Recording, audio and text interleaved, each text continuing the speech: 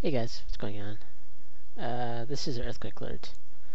Over an hour ago, the USGS reported a very moderate earthquake that struck the borders of DRC and Uganda. Uh, the DRC is the Democratic Republic of the Congo.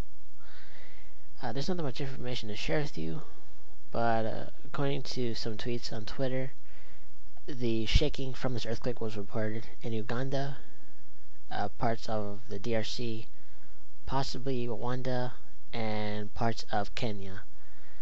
Uh, the epicenter of the earthquake was located on Lake Albert, and it was said that the epicenter was about 13 miles deep. Uh, but at this time, there's no immediate reports of any damages or any injuries.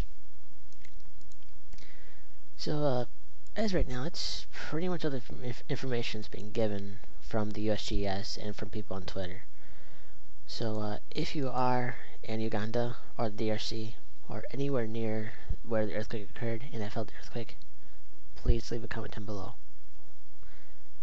So that's it for now, guys. Uh, if there's more updates on this particular incident or this particular earthquake, I will put those updates down below.